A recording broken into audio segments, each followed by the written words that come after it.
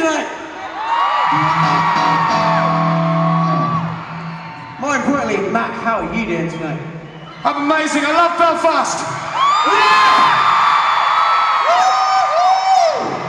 It's pretty awesome, Belfast.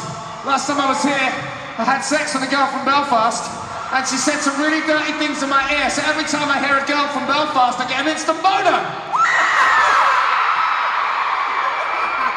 Okay, here's a song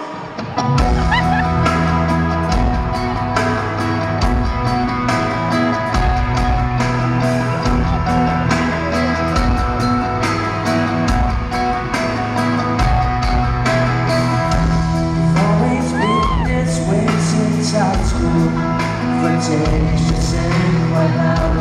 find it sense of you, it's right for